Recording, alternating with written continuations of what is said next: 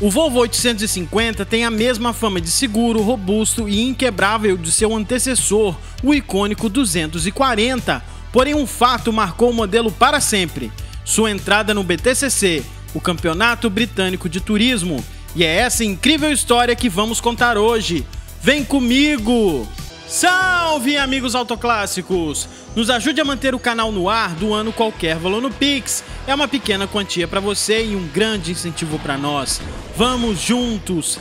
Deixe o seu like, inscreva-se no canal, assista aos outros vídeos e ative o sininho para não perder nenhuma novidade. Agora, sem mais delongas, pegue um café, acomode-se na cadeira e acelere com a gente.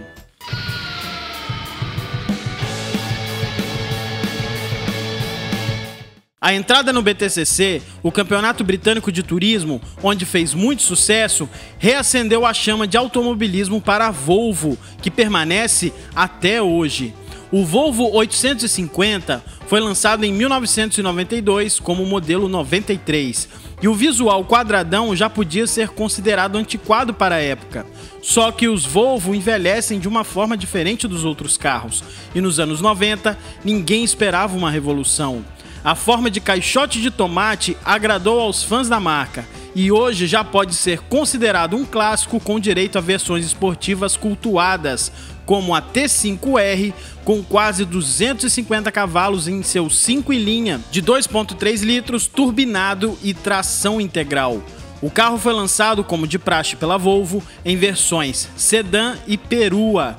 Essa que por uma boa razão é mais lembrada, foi o carro que fez a Volvo voltar ao automobilismo. Em abril de 94, duas peruas com pintura azul e branca entraram no autódromo de Truxton, no sul da Inglaterra, para o início da temporada do BTCC, o Campeonato Britânico de Turismo. A Volvo havia decidido usar uma perua na competição meses antes da estreia, porém o plano foi mantido em segredo até o último instante. Quem estava presente, público e imprensa, acharam que se tratava de uma piada. Só que os suecos não brincam em serviço. Usar a perua era a forma de chamar a atenção da mídia para sua volta ao automobilismo e demonstrar, segundo a própria marca, que era possível combinar diversão e praticidade no dia a dia. E é claro que deu certo. Nada melhor que uma competição de automobilismo, né? Vença no domingo, venda na segunda. A decisão foi tomada por Martin Ryback, vice-presidente da Volvo à época. Para ele, o BTCC era a oportunidade perfeita de colocar a Volvo de volta nas pistas depois de quase 10 anos. A responsabilidade de provar que o 850 poderia ser competitivo foi dada a Stephenson Automotive, especialista na preparação dos carros da Volvo havia anos. A escolha da perua, segundo reza a lenda, foi obra do acaso. Dizem que quando chegou a hora de pegar uma carroceria de 850 para usar na mula de testes do carro de corrida, apenas carrocerias de perua estavam disponíveis.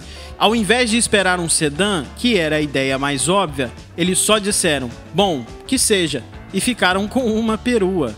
Depois, quando conseguiram uma carroceria de sedã, a SAM pôde testar as duas versões em seu túnel de vento.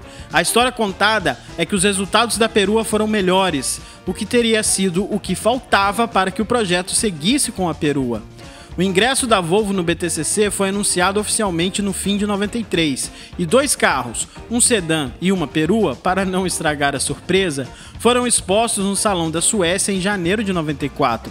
Dois meses depois, em Genebra, a surpresa geral: uma perua de corrida seria a aposta da Volvo. O projeto final ficou a cargo de Richard Owen da Tom Walkinshaw Racing, famosa por vencer as 24 horas de Le Mans de 88 com o Jaguar XJR9. A base mecânica foi o motor turbo de 5 cilindros, mas em vez de um 2.3 turbo, o carro de corrida tinha um 2.0 aspirado, que era uma exigência do regulamento da classe 2, de 290 cavalos e câmbio sequencial de 6 marchas, mais compacto, o que permitiu que o motor fosse posicionado atrás do eixo dianteiro e em posição mais baixa, melhorando o centro de gravidade e estabilidade do carro. Os pilotos que estrearam as peruas foram Richard Rydell e Jan Lammers. Os adversários que não gostavam muito de ter que competir com uma perua. Abre aspas. O Volvo 850 era de longe o maior carro da categoria. Alguns pilotos nos provocaram, mas sem problemas. Para melhorar o humor deles, em uma das corridas nós pilotamos com um enorme cachorro de pelúcia no porta-malas durante a volta de apresentação, disse Ricard.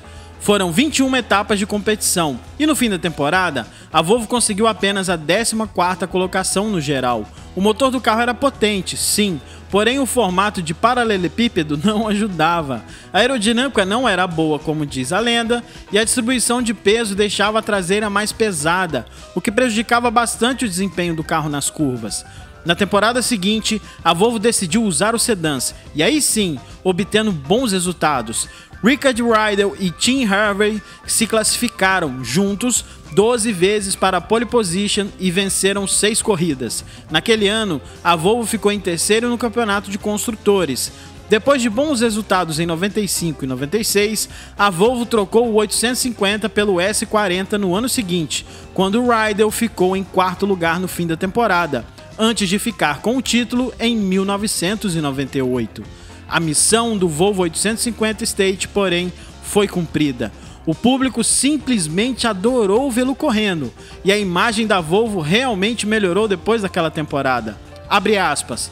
Nosso melhor resultado foi um quinto lugar em Outron Park contra Rydell, mas a imprensa escreveu mais sobre nós do que sobre qualquer outra equipe. E aí, o que acharam da perua de corrida da Volvo? Você ficou com vontade de ter uma também que eu sei, hein? Deixem suas opiniões aqui nos comentários. Eu leio todos eles. E o like, já deixou? Quebra essa pra mim, cara. É muito importante pro canal crescer. Inclusive, estamos trabalhando na forma de recompensar aqueles que estão contribuindo no nosso Pix. Eu me chamo José Júnior e não vou parar até contar a história de todos os carros e pilotos que passaram pelo Brasil.